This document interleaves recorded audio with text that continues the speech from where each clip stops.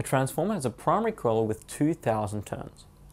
If the transformer is designed to step down a 10 kilovolt signal to a 240 volt signal, find the number of turns in the secondary coil.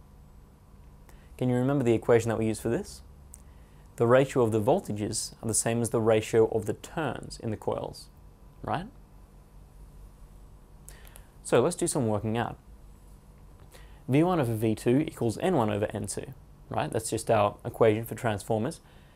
And our ratio here is going to be the 10 kilovolts, that is 10,000 volts, over 240 volts, right?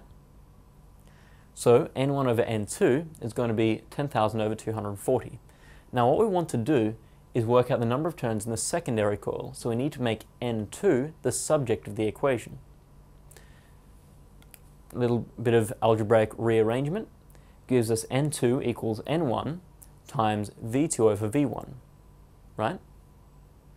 So substituting in the numbers, we have 2,000 turns times 240 volts over 10 kilovolts. And this, of course, will simplify to 48 turns.